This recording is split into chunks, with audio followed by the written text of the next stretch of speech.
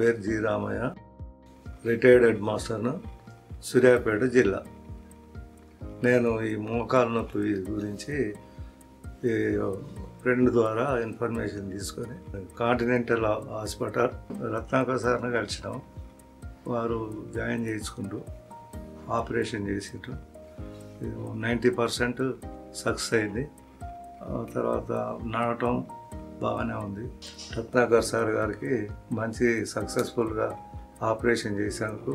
హృదయపూర్వక నమస్కారాలు